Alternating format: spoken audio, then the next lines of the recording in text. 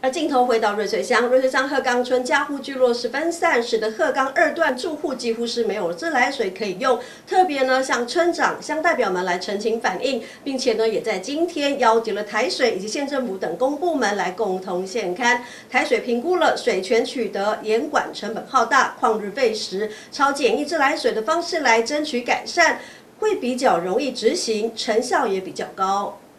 住家聚落分散的鹤冈二段，近十年来不断澄清反映，希望台水进行严管，让当地住户都能饮用安全的民生用水。南下协调说明的台水公务课业务承办员，图文并茂的向住户民众详细说明。每一户都要，当然要把钢管埋进来啊，不然我在省道上，他们还是不能接啊，他要花很多钱来接。所以我们那时候在连支线都都规划进去，对，那所以我们要三点三公里，然后我们要一座的配水池，那我们那时候规划是要两千两百万，嗯，对，然后那时候户数要三十七户，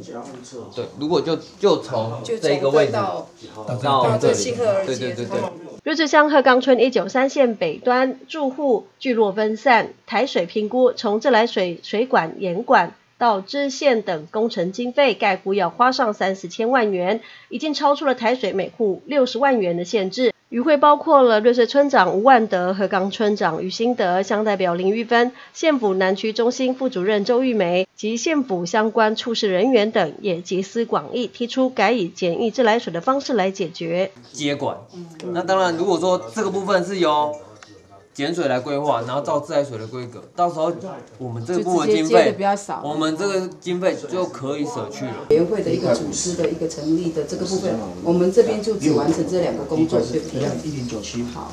由于争取自来水严管工程成本浩大，另外包括了水源、水路权、严管以及用地使用权的取得等作业繁杂、旷日费时，面对民生用水的供给不能等的困窘，台水等现场会刊讨论后一致同意，就朝设置简易自来水的方式来解决，由住户聚落成立简易自来水管委会来推动争取，希望能够尽快解决民生用水的问题。记者石玉兰瑞穗采访报道。